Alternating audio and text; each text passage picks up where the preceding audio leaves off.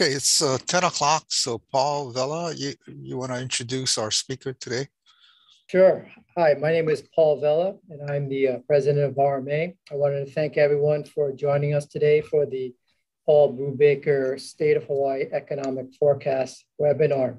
Especially wanted to thank Paul for, for being here today to do the presentation. I think we're, we're in for a real treat.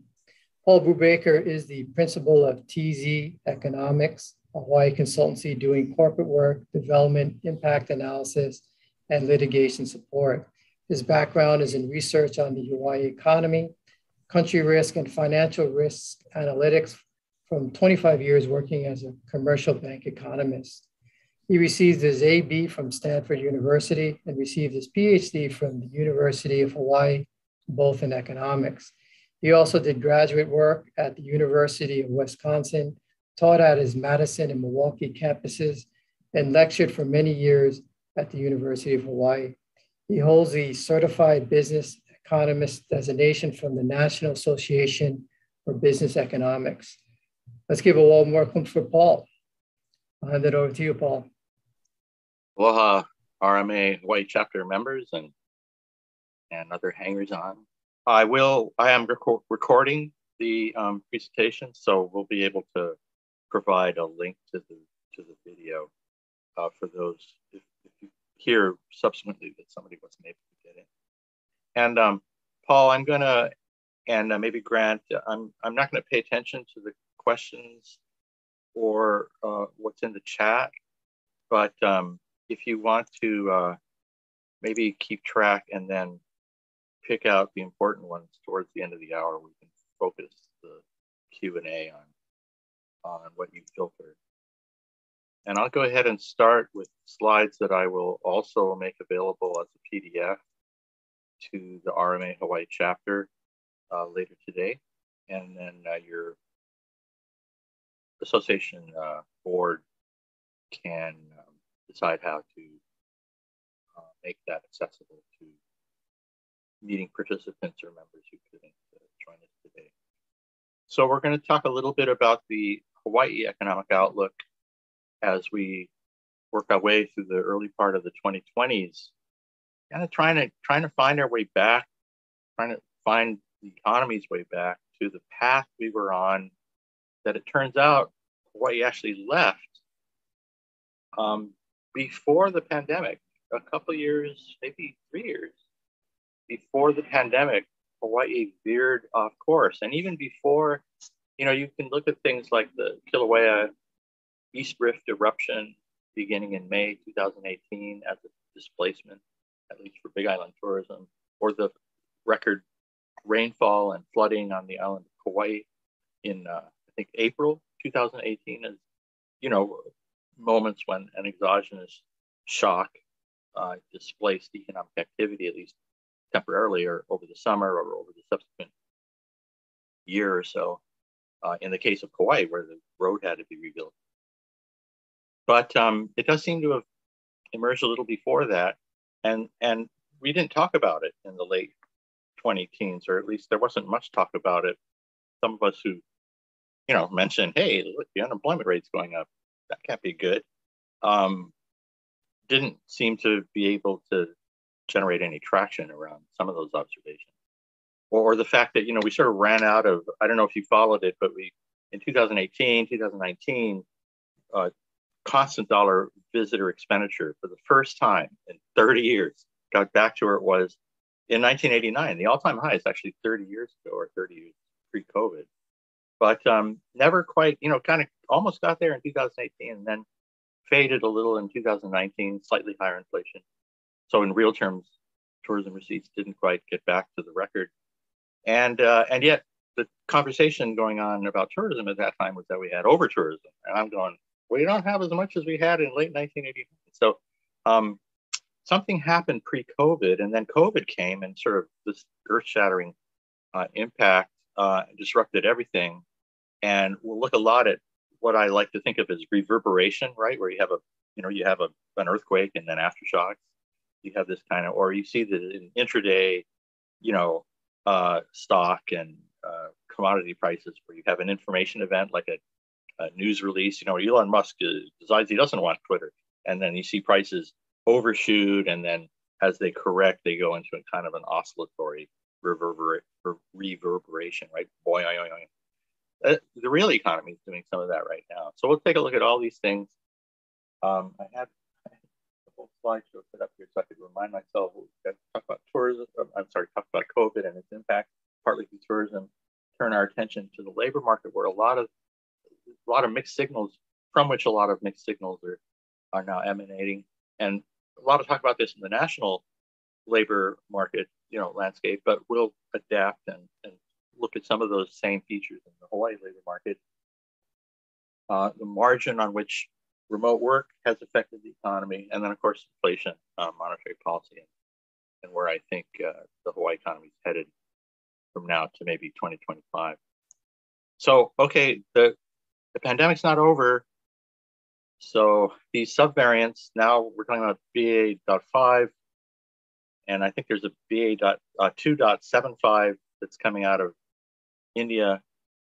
Um, while less lethal or more infectious, and they've had an impact on the Hawaii economy that, again, nobody seems to want to talk about. Um, my analogy is that we've had three 9 11 events in the last year because of each of the last three COVID variant or subvariant waves. So each time there's a variant wave, travel is suppressed, economic behavior uh, subsides or contracts. You know, people go into a more defensive mode. And, and so the economy is still being affected by these waves. The CDC says the BA5 is now dominant nationwide. This is through earlier this week. Uh, it displaced BA2, which was the variant that came out of the original Omicron wave last winter, like December, January. So BA5 and maybe BA4, but BA5, way more infectious. And in terms of the Hawaii data, these are case counts, normalized cases per million residents. Um, we it was actually higher this spring than last summer during Delta, but you know everybody's partying. And hey, I traveled. You know, although I I traveled and then I hid out and then I came back and I'm still hiding out. Um, BA5, if you look carefully at the Oahu data, it's starting, you know, the next wave, the BA5 wave. I don't know why people are all like, whoa, it's uncertain. No, yeah, the BA5 wave is coming, you guys. And it's going to unfold. It, it got a head start, got a jump start with a series of three day weekends Memorial Day, uh, King Kamehameha Day, uh, Juneteenth, uh, Fourth of July, like four three day weekends in six weeks, you guys. Plenty of time for everybody to pass it around the barbecue, and and now school's going to come back in a couple weeks with no masks. So get ready because it's it's on its way back. Now the case counts because of home testing. Um, we know that the case counts are probably higher. Dr. Char at Department of Health says multiply by five. Epidemiologists say maybe five or seven. You know, is a factor. Um, from measured test results to true uh, daily incidents, again, cases, new daily cases per million residents. And these are now weekly data, weekly averages of daily data the state is publishing, has been publishing, right? Because COVID's over, so we're only going to publish it weekly. Um, so that's what it would look like if it was the factor, you know, if it was 5x. And of course, we can see similar kinds of patterns now in the test positivity rates, which um, you know has subsided, or the BA2 wave. Um, but, but, again, I'm, I'm telling you, BA5 is coming, you guys. And a, a little bit more concerned, death rates are starting to creep up. Again, normalized per million residents, but we're headed for you know two people per million and there's a million and a half people in Hawaii. So that's three persons per day, right? Three people per day are dying of COVID in Hawaii. And, you know, if there was a mass shooting every day in Hawaii where three people died, people would be all over this. But instead, everybody's kind of like, yeah, whatever. They're old. It don't matter. So the link between cases and deaths, right, the transmission, so to speak, no pun intended, is complicated to gauge now that home testing has disrupted the quality of the testing results. But if you run these little, you know, vector autoregressions on the stationary component in three intervals, the delta interval, the omicron interval, the, the, the subvariant uh, interval most recently in the lower right-hand corner, you can see the intensity, right, the transmission from cases to mortality uh, may be increasing.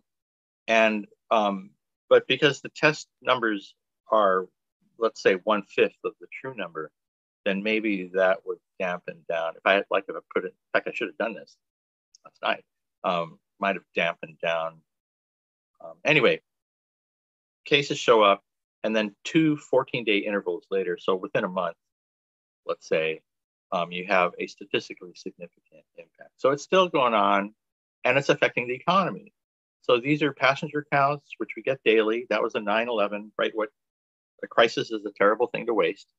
So after 9 11, the governor asked a bunch of you know, econo nerds, right? Well, what should we do? And we said DBEDT should grab the daily passenger counts and post them online. And they have since September 11th, 2001. DBEDT's been posting daily passenger counts. So you can go get later today, you can go get this morning's or uh, yesterday's arrivals. But if there were more international visitors, you could get this morning's arrival.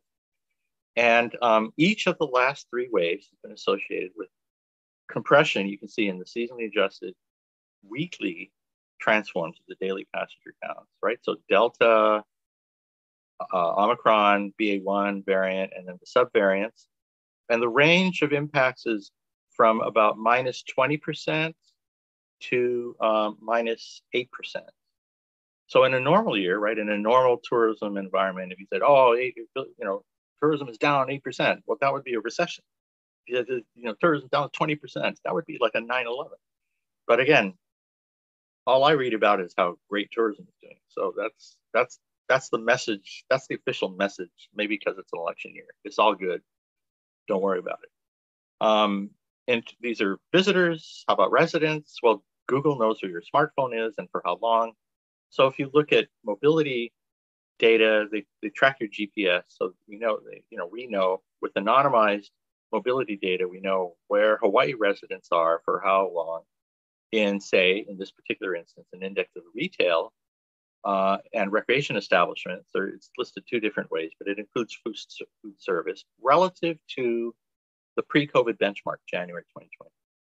And each way in, in the early part of the pandemic, when there's a lot of uncertainty, you can see how much of a, you know, regression, so to speak, or contraction in retail establishment activity, right? People not going to the store as often. Um, but then more recently, let's say in the last year, since vaccination, if you will, uh, each of the Delta, Omicron, and subvariant waves has had a similar impact and the amount of time Hawaii residents spend in retail and food service and recreation establishments like gyms is about 20% below the pre-COVID benchmark. That's an interesting number, and that's looking semi-permanent. That looks like the new normal to me. So we'll, we'll, we'll look for that in some of the other data we'll be looking at. Here's another one. Uh, every time there's a, a variant wave, job postings are suppressed. Uh, these are data from Burning Glass. So there's an amazing amount of daily, right? These are daily data.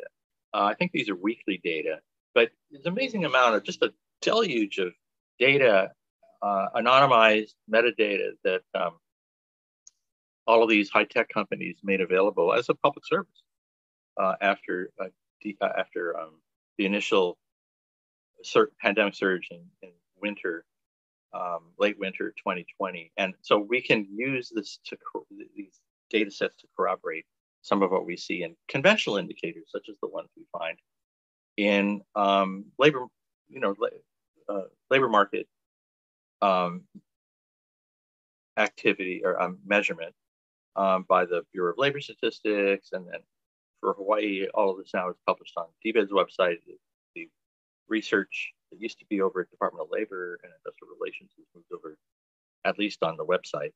Uh, so everybody's in one house at DBEDT and all the data. Uh, and so let's let's look at some of the, you know, some of the the odd and possibly permanent post-COVID impacts. I'm sorry, I can't see the whole slide here because I got this bar on top of the screen. I don't know how to get rid of that. Meeting info. Um, all right, you heard about the jobs report na nationally last week. Here are jobs on the left side of the screen working their way back, right? You see the recovery trajectory. The news, the way the media posed it last week, was that jobs as of June 2022 were now officially higher than they were just before COVID, which is a pointless benchmark, benchmark because before COVID, they were jobs were growing at 2%. So the true benchmark in terms of the labor market's potential in America is where we would have been had the pandemic not happened. And that's this upper trajectory towards, towards which the nation is converging. Although there's a little curve, see that little bit of curvature there? Actually, this regression right here has a second order polynomial in it.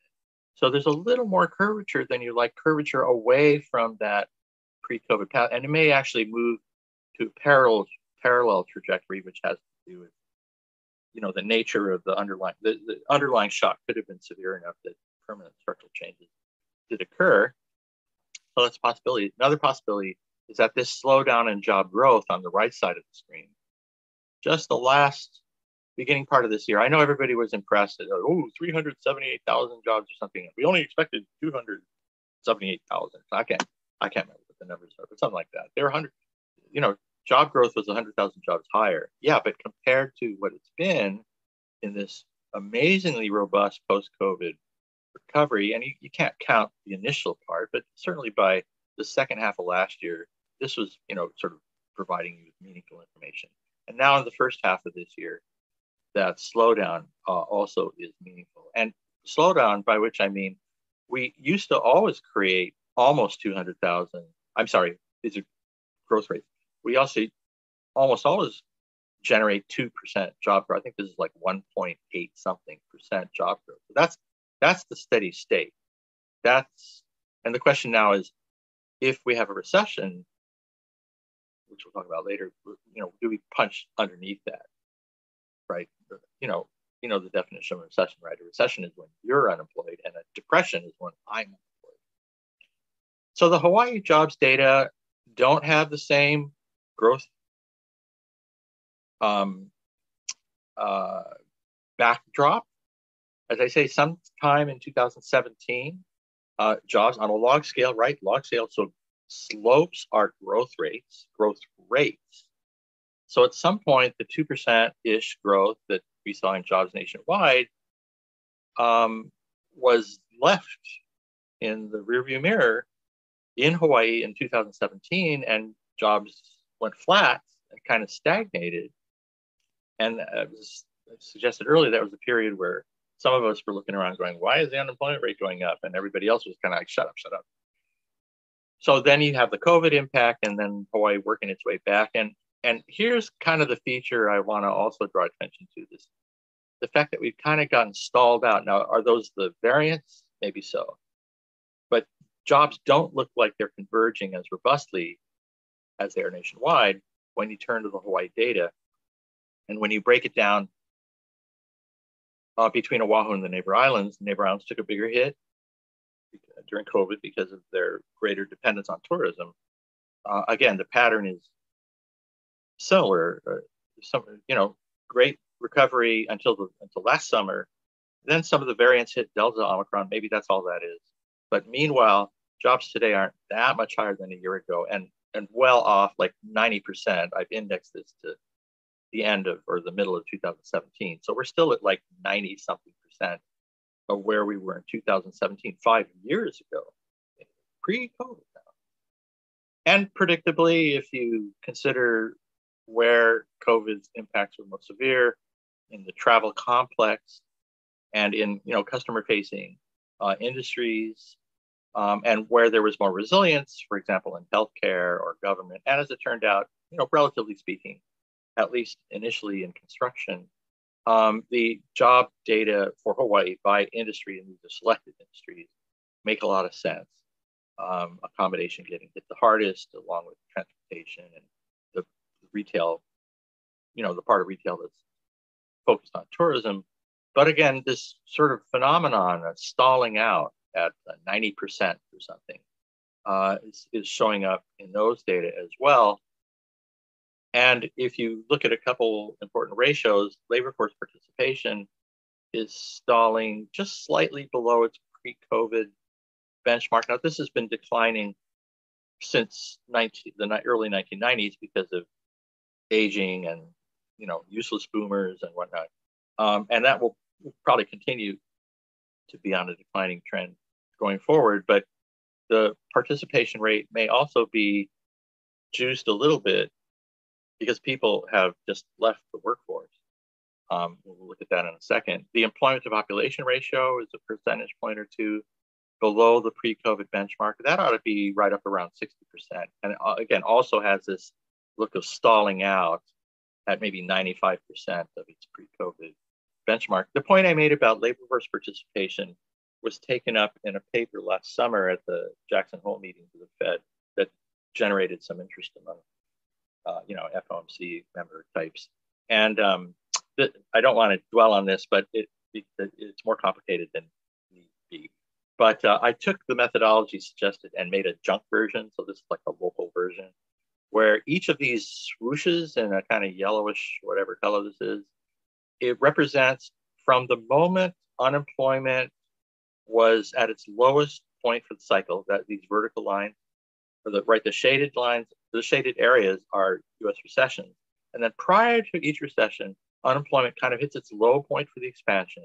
And if you measure labor force participation relative to trend from that point, from that moment forward, so the peak, so to speak, of the of the employment cycle, if not the business cycle, right? The peak of the business cycle is at the start of each one of these recessions, like in December 2007, main uh, U.S. recession, mainland or uh, U.S. recession. Hawaii sometimes is in, in its own private Idaho, but the low point for unemployment in Hawaii was two years early. See what I mean? And then you look at participation relative to trend and you see that swoosh, that backwards Nike swoosh. Well, it turns out before the 1990s, before participation rates began turning, increasing female labor force participation, which was a dramatic change over the prior 30 years from 19 to the 1960s to the 1990s, right? In, in Hawaii, it went from like 40% of working age women to um, 70% of working. It's an amazing increase. Uh, higher participation among women than among men, I think, at some point in that in that period, and then and then aging boomers uh, demographics uh, took over. But in that 30 years before the 1990s, we didn't see these swooshes, right? You can see it was there was a kind of a U-shaped formation right before the end of the employment uh, expansion but uh, it was either flat or actually upward if you go back in time and look at i don't have good data before 1976 i have my own data but it's not good. Um, what people are talking about now is this lag in the labor force participation response to economic recovery. And it just we just don't know but we could be going through one of those things right now uh, as well. So you didn't care but there's an interesting paper saying that you know maybe one of the there's several reasons why the labor market is messed up, and part of the reason is that not just because of COVID, but because in general, people tend to defer their re-entry into the labor market after one of these big events like the recession. Now, you're familiar with our unemployment rate coming back to about 4%. Um, there are multiple measures which Republicans love because that gives them a higher number than the one the Democrats like, but whatever the U3 unemployment rate is 4%. Hawaii, and if you look at the rate at which the unemployment rate is changing relative to its low point in the prior 12 months, let me say that again. If you look at where a moving average, three month moving average of the unemployment rate is relative to its relative to the previous year, you get a little indicator or sometime indicator of incipient recession. Um, so, for example, in the Paul Volcker monetary policy, you know, high inflation, cold turkey recession, era of the you know the Reaganomics era of the early 1980s, Hawaii clearly was signaling its participation in the in the second of the double dip recession, although not so much the first. And then you know the the Hawaii becalmed period where Hawaii was its own private Idaho, like I said earlier, it had an, a decade long period of stagnation while the rest of the economy was going through the dot com boom. Well, that was presaged by a series of increases in this what's called the the, the Sahm rule, the Sahm ratio. Um, it, it went up after the Japan bubble burst, signaling that Hawaii was going to have a recession. But then Hurricane Iniki came and put all the construction workers back to work on Hawaii. Uh, and then here's another remember thumbs up, those of you who are old enough. Like it was Hawaii was, you know, this index was indicating Hawaii was in for just a complete economic beatdown. And our response was a marketing campaign. Think positive. Um, but you can see that uh, before the 2008 recession, this ratio was signaling uh, uh, incipient recession and actually started to improve until Aloha Airlines shut down. Um, a little bit of this in the late 19, uh, late 20 teens, right? I mentioned around or just before the volcanic eruption in spring of 2018, there were warning signs that we should have been paying attention to, but technically it didn't breach this 0.5 threshold, the ratio of the three month moving average of the recent unemployment rate to the 12 months, uh, uh, the low point, uh, the minimum uh, uh, over the previous 12 months. And right now, to make a short story long, right now, it is not signaling recession for Hawaii at all yet. But okay, so that's good. Um, more anomalies. The number of job openings in Hawaii relative to the unemployment rate is at an historic high. Usually, basically, there's two jobs open for every unemployed person. Like that never happened, but it has ever since the pandemic. And quits are higher than they've ever been in Hawaii. These are Hawaii data. So it used to be, you know, and you know, maybe two percent or like an upper bound of two percent of workers would leave their jobs in the late again after 2017 that started to creep up like pre-covid now people were saying hey take this job brother and now it's moving even higher i mean you know it's headed like two or three percent for a while last year hawaii had the highest quit rates in the country so th- again there's some weird things going on it's a tight labor market but it's tight because people are quitting they're not participating right? They're not, there's plenty of jobs, but they're not grabbing them. And if you've been paying attention to the demographic data, they're just bailing. They're just straight up leaving Hawaii. So we won't have time to spend too much time talking about that, but it does, we'll conclude with a reference to it again. And then finally, one of these mobility indices, you can see relative to the pre COVID benchmark, relative to January 2020, how much time people or their smartphones spend at home or in conventional workplaces. So either because of remote work or hybrid work, people are spending 30 to 40% less time at work. And then there's some you know, there's there's there's a cycle here. Each variant, right? You can see the holidays. There's Christmas, July 4th, Thanksgiving, Christmas. So on July 4th, this is last weekend. Last weekend? Last week? I can't remember. July 4th, people went home. You know, were at home more than they were at work on Monday. But um, or or over the weekend. These are daily data, and uh, and there you see the subvariant impact. But the point more generally is that this looks like a new normal. Maybe 30% less time spent in workplaces on average, as I say, because of combination of remote work and and uh, hybrid. Now, pre-COVID, these are the pre-COVID U.S. data. Only 10% of people ever worked from home, and of that 10 percentage points, only three or four worked from home full time. So, you know, before COVID, we called it shirking from home, not working from home. But as soon as COVID came, these are Google searches on, right? Have you ever used Google Trends? You go put in a search like Hawaii vacation or, you know, my boss sucks or whatever, and see how many searches there are uh, on Google. And uh, so these are Google searches for the phrase, um, what is it, working from home And uh, you, not only was there an increase after COVID, it's it's permanently stayed higher. It's like right, the peak is 100, so it's it's maybe two times or three times as high permanently as it was pre-COVID. Uh, so people continue actively to look into this. Obviously, COVID itself uh, created a necess- necessity for many people to work at home. And but in addition to the 10% of workers who worked at home at least sometime pre-COVID, currently there's additional, let's call it 8%, right? The, the, the total is right now 8% with the following patterns. Persons with higher educational attainment are more likely to work from home. Women are more likely to work from home than men. Millennials are more likely to work from home than boomers. And again, this is in addition to the original 10% of workers.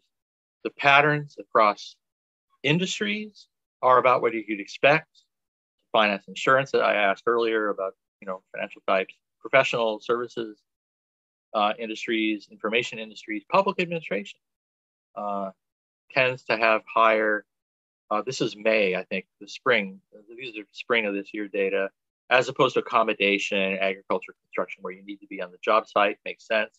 If you look at working from home by occupation, right, this is industry, these are occupational data, right? The math nerds rule, lawyers work from home now, et cetera, et cetera.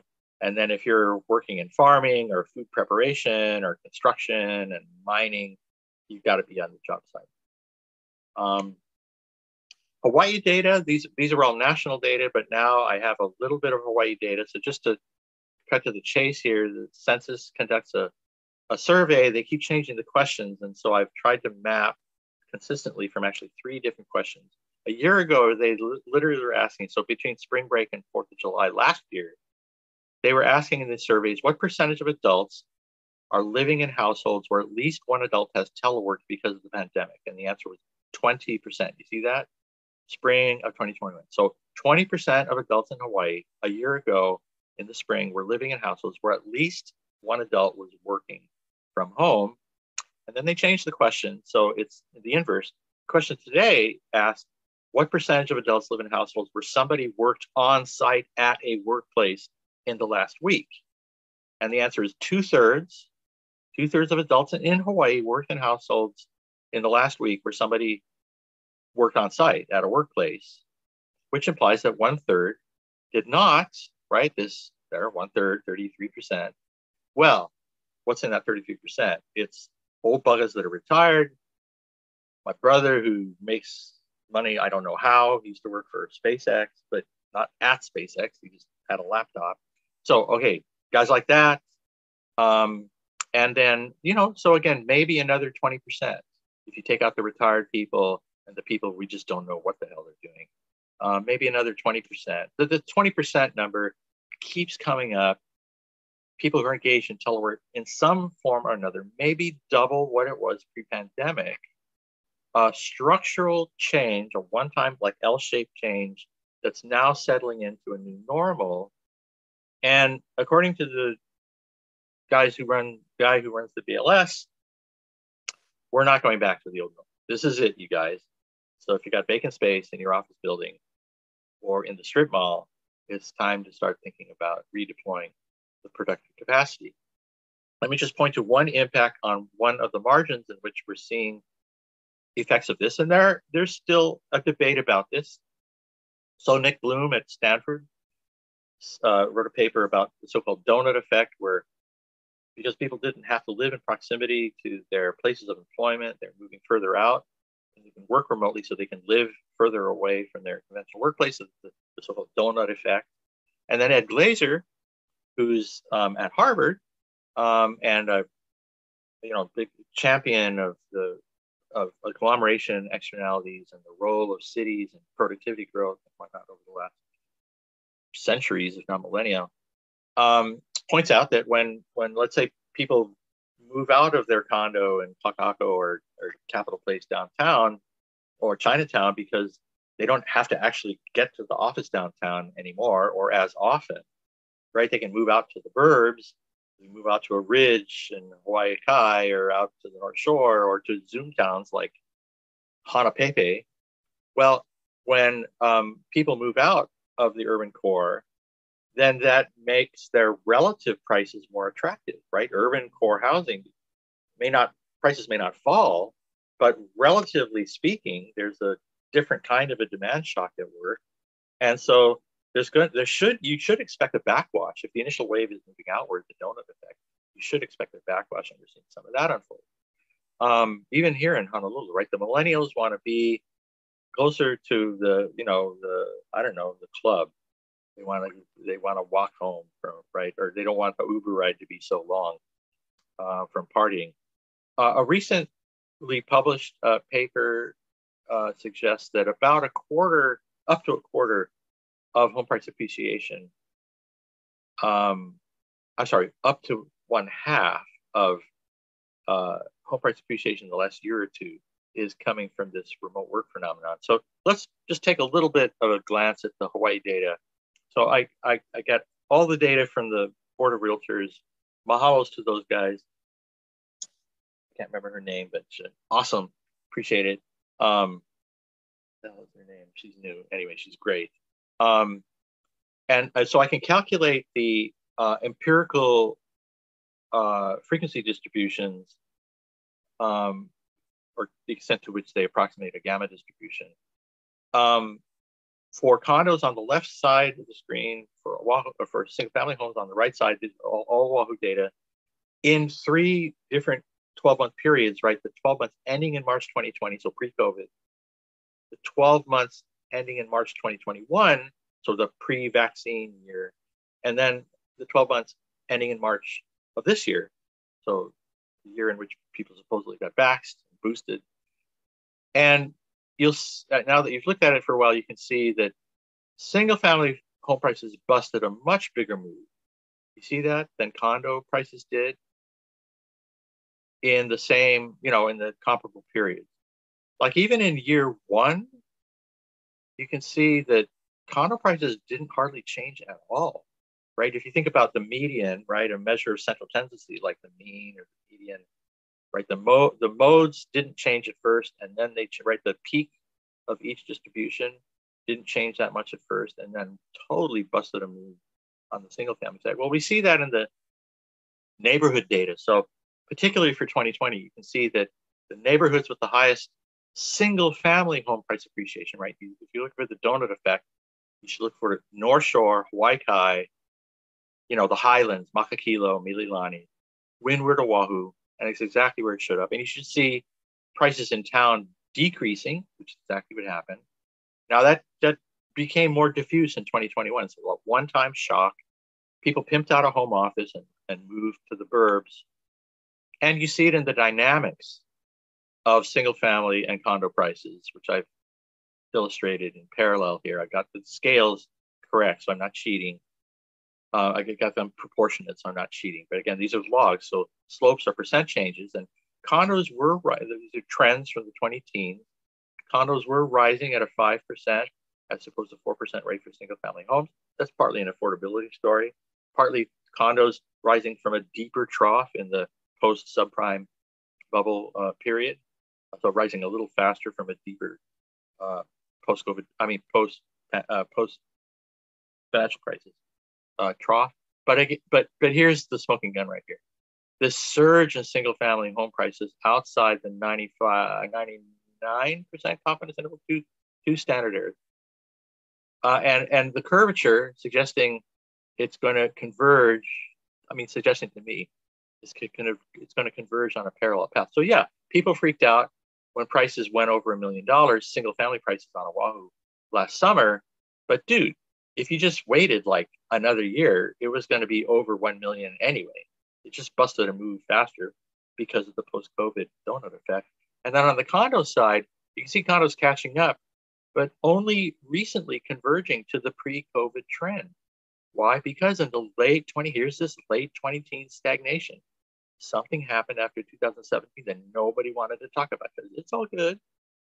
Where prices went flat in 2018 and 2019. And basically, if you look at single family home prices statewide in the four counties, you see the same bust a move, see the same curvature. Here's the, the curvature here on the Big Island because it's there's too much noise here. But it happened on Maui, it happened on Hawaii as well. Okay, so that's a fact, Jack. And and again, see that stagnation in the late in 2019 ish. What was that all about?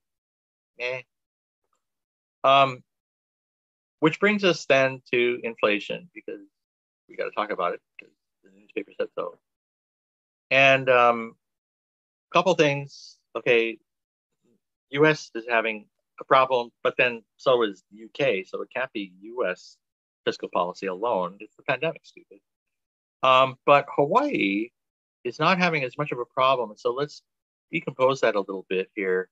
In the first place, Hawaii's inflation, uh, we only have a May number, but next month we'll get July. I'm pretty sure it'll be about seven, about the same as it was in May. That is, is no longer going up. Inflation recently in Hawaii is only slightly above where it was in the last cycle and not as high as it was before Persian Gulf War or at the time of the Persian Gulf War, and nowhere near the benchmark that everybody's talking about, right? The highest in 40 years. Well, except for the it's only 30 years in Hawaii, meaning it was actually higher 30 years ago. But more importantly, look at the profile of inflation here. That looks more like world war or demobilization from war.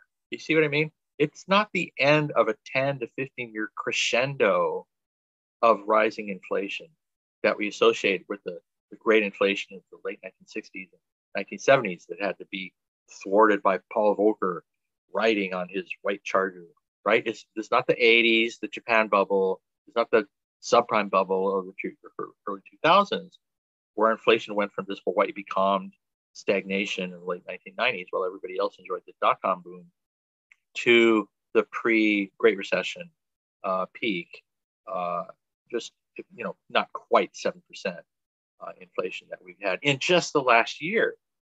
Like literally since right there's May of last year, and here's May of this year for the Hawaii data. The U.S. number just came out for July. It's nine percent, and yeah, the U.S. looks like it has more problems, and that's why the Fed's responding. But in Hawaii, it looks like I think we're close to the end of it, you guys. And clearly, if it just happened in one year, it's and not at the end of you know a decade of ratcheting up inflationary expectations. It's got to be not just aggregate demand factors at work. It's got to have, it's got to reflect an aggregate supply shock. Now, in terms of the aggregate demand shocks, the fiscal stimuli after COVID, right, came in the CARES Act, the Consolidated Appropriations Act, of December 2020, and then Biden's ARPA in March 2021, 5 trillion in fiscal stimulus. And it turns out we probably only needed 4 trillion to keep the economy from evaporating. Um, and that's a view, um, uh, what's his name? Uh, always Ken Rogoff. Ken Rogoff moved into my office when I left Wisconsin. Ken Rogoff has been making this argument. You know, the problem, you you know, ex post, what the correct amount dose, right? What the correct dose of fiscal stimulus should have been. But at the time, in the middle of the crisis, you don't know. So you can't underdose the patient, or the patient might die. So I, that's the logic anyway. So now we know that five trillion was too much. Probably should have been less than five. And as soon as ARPA dropped, people went off and started buying stupid stuff. Like, I don't know what they were buying, but there was not enough of it being produced because of the um, because of the pandemic. And when you separate the headline from the core inflation rate for Honolulu, you can see that of the seven percentage points, four of the seven are sort of aggregate demand shock. They're in the core, right? They're for people who don't eat or drive, right? The inflation rate, less food and energy, 4%. Whereas once you include these supply shock prone line items in the CPI, it's an additional three percentage points of inflation in Hawaii is coming from the global supply chain disruption, supply shock, right? So, right, do here, draw the picture, as Mr. Sakamoto used to say in my 10th grade geometry class at Kailua High School. DTP, he would draw on the chalkboard. DTP, draw the picture, right? So aggregate demand, I don't know which direction is this aggregate demand for you? Aggregate demand goes up, aggregate supply contracts, what happens? Unambiguous, I mean, ambiguous impact on output, demand, supply, but unambiguous impact on the aggregate price level, unambiguously higher aggregate prices when a fiscal stimulus and a supply shock are going on at the same time. Now we'll look at the unwinding of the supply shock in a second, but meanwhile, when you drill down to the urban Hawaii consumer price index inflation components, and it's the urban Hawaii CPI, it's no longer the Honolulu CPI because Maui is a city. Mm-hmm. so the right the, the, Kahului Wailuku Lahaina metropolitan statistical area is now included with urban Honolulu as opposed to regular Honolulu. Anyway, urban Honolulu and Kahului Wailuku Lahaina MSA are combined in the urban Hawaii consumer price index for all urban consumers. And the components pulling the inflation rate up are exactly the ones you'd expect. Motor fuels, liquid fuels generally, utilities, and then because of the semiconductor shortage, used vehicles and new vehicles. And then the supply shock showing up in food as well. So it's all that stuff. Above. Now the average seven percent. There are other things inflating, although not so much housing, right? Because the prices that went up, with the prices of the five percent of the houses that actually transacted, five percent of the housing inventory in any given year, on average. And but the other 95%, you just lived in your house. You didn't. It, the mark to market went up. Maybe you leveraged and refied your mortgage with the you know uh, new appraisal. But the point is that the right, it's, it's not costing. In fact, it costs you less because you just refied. Uh, by the way, that ship has sailed. So um, yeah, the mix of demand and supply affects why semiconductors? Because you pimped out a home office, you bought your kid a Chromebook, so she could go to school remotely, right? The whole planet did that, and all the chips went over to devices uh, and weren't available for autos, which nobody was buying at first anyway. I mean, you know, rental car companies were dumping their fleets. So when you look across all of these commodities, like with oil, where it's I can't keep up updating it, it's come back. By the way, oil has just gone back to where it was 10 years ago. So stop having a cow. But uh, it's come back to $100 from 120. Um, corn another one of these again you can't i can't keep up with this stuff so this is you know corn went to seven dollars eight dollars a bushel and is backtracking and i downloaded it this morning and it's six dollars a bushel so a lot of right the, the corn commodities prices map into producer prices which now are starting to level out um, construction materials have been a big problem because as i say I, I, joke about it but everybody pimped out a home office that's actually what happened the day the sawmill shut down. Everybody decided to renovate their house so they can make a workspace. And so the, uh, on the entire planet. So construction materials, producer prices, uh, you know, launched 50% in a very short period. That's got to hurt. Um, but now if you look at lumber, say the mapping from lumber prices to the PPI for lumber, you can see that the uh, when I did this graph a month ago, the lumber prices were trending down. And just this morning, I just pulled all the commodity data. So that's how current you need to be these days. But in the period since the Russian invasion of Ukraine, which is late February, yeah, a lot of these, there's Brent crude come back to where it was pre-invasion. Um, CBO, uh, Chicago Board Trade wheat, you know, back to eight dollars a bushel a lot of this lumber I just mentioned has gone back to year ago uh, levels. Now, a year ago, they were still high relative to pre-COVID, but I'm just saying there's you know not as much craziness. And this volatility, see that double peak, triple peak, that volatility, it's not going away. We just saw this in the COVID and tourism data. Uh, copper suggesting independently that we may be headed for recession. So, okay, I need to wrap up you all know this, you follow this at work. The yield curve is flattened. Um, the two to 10 spread uh, has gone negative, and you can see that doesn't always presage a, a recession. And indeed, in 1974, this is probably the best benchmark for a soft landing. The moment the Fed went to 75 basis point Fed funds rate increases at the end of 1994, um, you know, the Treasury yield curve uh, signal, watch out. And, um, and uh, you know, the Fed managed to land the economy without a crash and burn. Um, in the pre the subprime bubble period, when uh, Greenspan was raising Fed funds targets deliberatively at 25 basis points per meeting, right at a measured pace, um, we stayed in that zone for quite a while. And that's an important point. In a world with zero inflation risk premium, like if in a world where people actually believe the Fed, the Fed's commitment to 2% average inflation target on the core personal consumption expenditure later is credible, so there's no inflation risk, the yield curve should be flat. There should be no reason to be rewarded for parting with your money for 10 years as opposed to two years. And that's kind of what we had pre Great Recession. In fact, we had, as, as you see here, an extensively, an extended inversion, which did eventually lead to recession, but led to a recession because something, you know, something hit the fan. Um, like, like, um, CDO squareds on subprime, uh, you know, uh, M- MBS credit default swaps, blah blah blah blah blah blah blah blah blah blah. And right now, the vulnerability is coming from um, the persistence of COVID.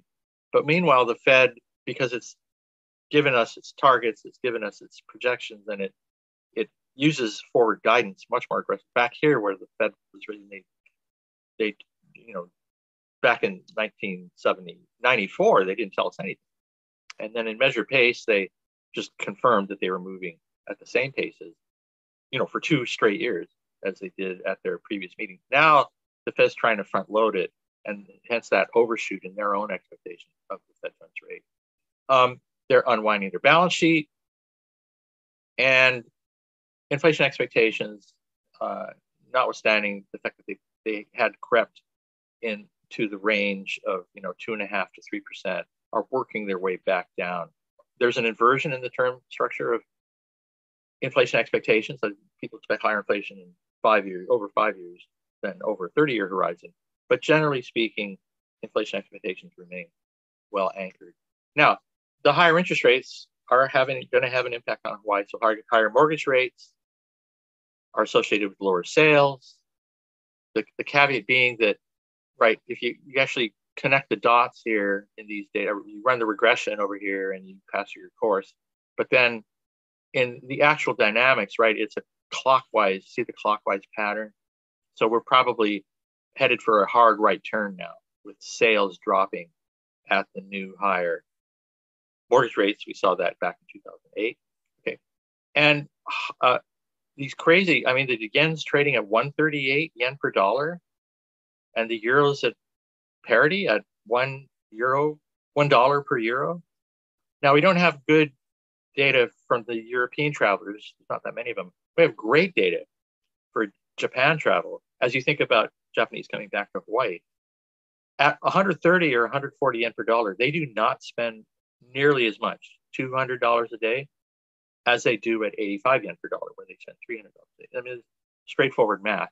So both in terms of the direct channel of uh, interest rates, rising interest rates, lowering investment, and the secondary channel of a higher uh, interest rate on US dollar denominated securities and therefore uh, a stronger dollar uh, impairing tourist um, expenditure. Um, you know, we've got some headwinds. So this may be the soft landing. This is not the mainland, like the bumper sticker says. Bumper sticker says, right? This is not the mainland. But um, you know, there's an inflation thing, and the supply side should burn itself off the supply shock, and then the um, you know the Fed's going to deal with the. I'm not really worried about that. And uh, what what people thought was bubblicious in the housing market over the last couple of years is probably just the the you know the um, shirking from home. Um, returning and concluding now with some longer term observations, although this is short term. So these are daily passenger counts relative to um, the 2000 um, 19 benchmark and TSA daily throughput. Again, right relative to um, 2000 pre-COVID uh, benchmark. So you can see is travel experience not that much different from the mainland. You, again, there's Delta, there's Omicron, subvariants, but this problem of being stuck at about 90%, I think that's something we need to think about as we approach the election, for example, uh, this year. Tourism to go back, uh, if you, I, I, looked at passenger counts, but these are monthly visitor counts and visitor days, and I've constructed June and July estimates based on the passenger counts that we do have. The passenger counts I know, and I construct estimates, projections of visitor days and vis, uh, visitor arrivals. So again, falling short of the trend we were on, kind of stuck in a, you know, we're almost there, and then we're just getting whacked over and over by variants and subvariants. Visitor expenditure in constant dollars trying to work its way back to that 2018, 2019 moment, which as it turns out was just shy of where things were back in 1989. So we're still trying to get back to where we were in terms of tourism exports, right? Constant dollar tourism exports.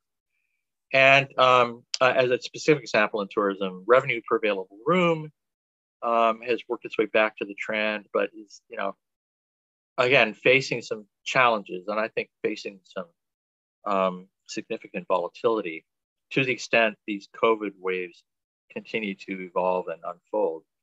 In the long run, productivity, output per capita has grown at about 2% since the Industrial Revolution. This amazing data set put together by some economic historians. So when you look at that 2% path for US GDP cap per capita compared to Hawaii, you can see Hawaii's golden age was the late territorial, early statehood, right? Go for, go for broke period in economic growth. And then we began throttling the Hawaii economy more recently.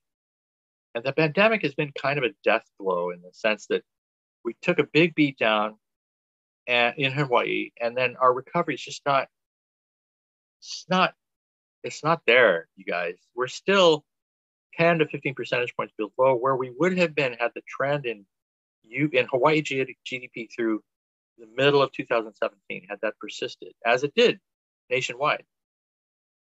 Um, so uh, there are some structural problems, and meanwhile, U.S. GDP was negative. GDP growth in real terms was negative in the first quarter. And the nowcasts for second quarter suggest it's going to be non-positive in the second quarter. So we've got this weird, got a tight labor market with job growth, GDP output may actually be declining in the US or just not increasing.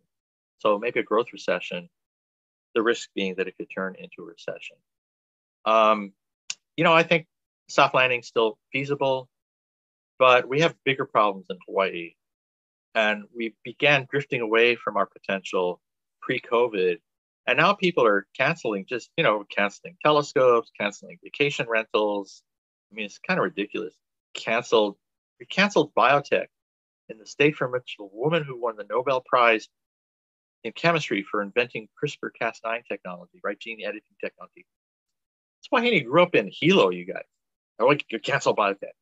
So I, I don't know. You, you tell me what's going on because if you look at the demographic data, and I'll skip over it because it's all going to be revised when the decennial census enumerations drop next year. But if 60,000 people left Oahu in the last five years, how can we still have a housing crisis at three persons per unit? I mean, I, people are talking about a completely different world out there from the one I'm seeing in the data about which I have concern. Recovery for sure, but maybe not back to our potential. And I mean, right, you don't want to be nothing against Detroit, but they had a bad spell, the whole Rust Belt. And Hawaii could be headed for um, its own version of that if it keeps throttling the way people seem to want to. I've run out of the hour. I'm going to stop now. I'll cut off the recording here, but I'll be happy to uh, stay on for Q&A. I know some of you have real jobs and want to get back to work. Um, so when I edit the video, I'll either chop off or include a couple of questions. But if you got to go, I understand it's 11 o'clock. Mahalo for your time. And uh, I'm going to stick around. So those of you leaving, see you next time.